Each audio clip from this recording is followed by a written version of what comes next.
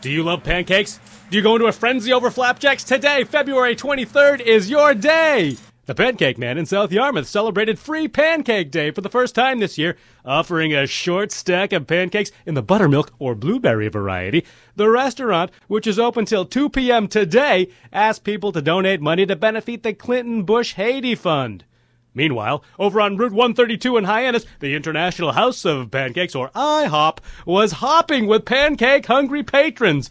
The popular chain will be plopping triple stacks onto plates until 10 p.m.